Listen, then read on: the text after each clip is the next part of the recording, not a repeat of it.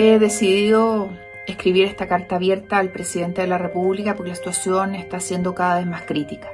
Más de 50 muertes al día, hombres y mujeres en nuestro país que parten. Y ello en un contexto en donde el propio ministro de Salud ha reconocido eh, la estrategia equivocada que se tuvo para enfrentar esta situación. Presidente, nunca es tarde. Nosotros como senadores le hemos hecho propuestas, le hemos enviado cartas, oficios, le hemos solicitado no solo un cambio de estrategia, sino que se transparenten los datos, que nos ocupemos de la situación sanitaria y que para enfrentar la pandemia es necesario eh, tomar ciertas medidas de cuarentena, pero que para que ellas se tomen tienen que tener eh, las familias las herramientas para enfrentarla y así evitar el rompimiento de ellas. Presidente, un gran acuerdo requiere que las partes escuchen y que haya un cambio de actitud.